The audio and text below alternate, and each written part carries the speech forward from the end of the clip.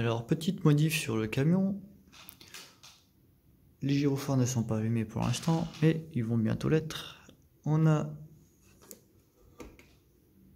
modifié l'emplacement de l'interrupteur qui était à l'intérieur.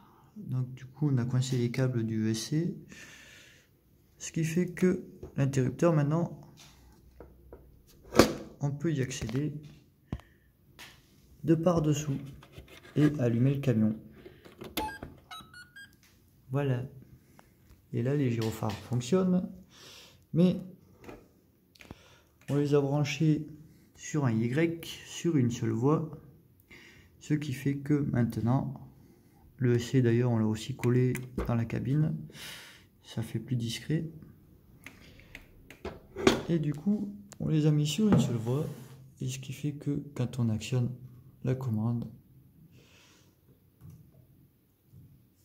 avec un interrupteur, hop, on peut les modifier comme on veut à notre gré et même les éteindre.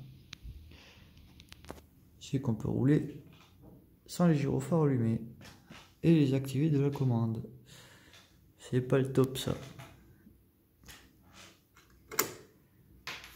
Il n'y a plus qu'à attendre le, le module kit son, le module sonore que l'on branchera dans la cabine.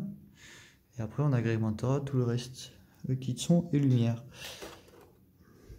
Voilà, petite modif du jour.